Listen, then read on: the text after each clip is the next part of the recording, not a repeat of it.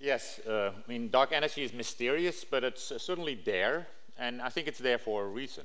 Um, the universe is extremely large. Um, it's also very dark. I mean, not totally dark.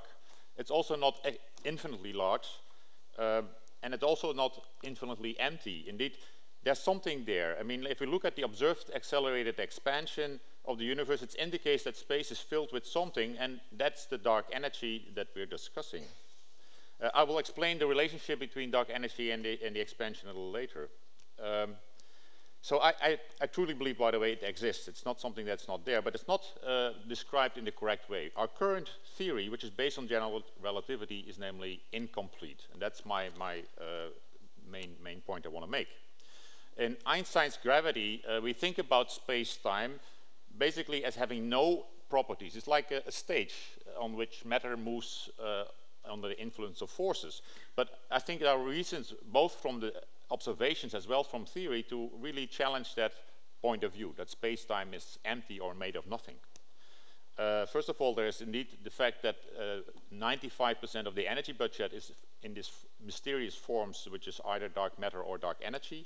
But also we have insights uh, from string theory, from black hole physics that tell us that space-time and gravity eventually will uh, emerge. I mean, it comes about from something microscopic in which these, these, these uh, phenomena have no, no real meaning.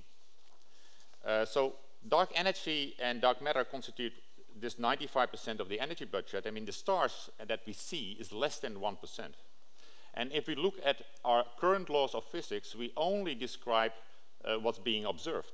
And what we observed are the stars and maybe the radiation from the Big Bang, but that's only a very tiny fraction of all of the energy in our universe. Now, in physics, we generally ignore uh, what uh, is happening in the microscopic level, like the air in this room. Uh, we don't generally care about all the microscopic molecules, how they are moving. We just forget this. And this is how we make our laws of physics and also in our everyday life. We talk about things that move like the cars and so on, but not the air and, and, and in there. The same is true for space-time. And our current theories are ignoring most of the things that are moving in our uh, universe. So I claim that dark energy is actually the thing that we've not described well enough and that there's a microscopic theory that should eventually explain what's happening in, in, uh, in dark energy. So um, I told you I was going to talk about uh, the relationship between expansion and dark energy. The fact that the universe expands means that things are moving away from us and with higher velocities when we are further away. And eventually there will be a distance where uh, things are moving away with the speed of light. And there's nothing we can see beyond that. And this is what we call the horizon of our universe. There's a finite distance, and you can think about it as a, a giant dome around us where we can not look beyond. That's, as I said, called the horizon. And uh, there are horizons, other locations where there are horizons in, in, our universe which have to do with black holes. And one of the big discoveries we have made in physics is that horizons have very special properties. And this is a discovery due to Stephen Hawking. Uh, a horizon tells us namely about how much, um, for a black hole, how much information eventually went into the black hole. It also tells us something that there must be a temperature associated with a black hole. And the same is true with our universe. The universe has a lot of information in there, uh, which is the size of our uh, cosmological horizon. And it's that information eventually that we have not been able to describe yet. We've been ignoring it, but it's contained in the dark energy. Uh, the dark energy tells us actually that uh, our, our universe is not um, just empty, but it's being filled with something that uh, we still have to learn how to describe.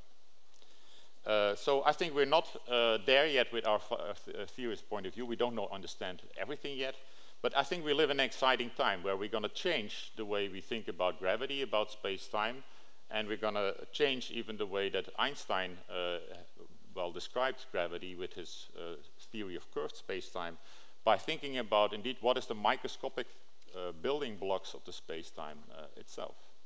Not sure how I'm doing on time. Or maybe even during the discussion I can say a little more. But I'm sure, yeah, we'll have time. All right. So my, my point of view is that indeed we don't have the final theory yet. And that when we have it, I think dark energy will be the most exciting thing that's happening there. And there's lots of equations we haven't discovered about it yet, but it's certainly an indication of uh, the fact that we don't have the complete theory yet.